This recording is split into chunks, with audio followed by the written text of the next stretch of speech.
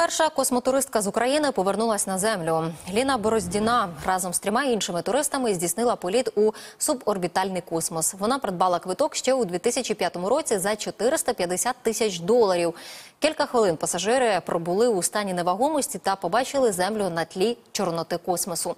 Апарат повернувся на землю приблизно через 90 хвилин після старту. На сайті компанії зазначено, що вона є приватною астронавткою з України та Каліфорнії, США.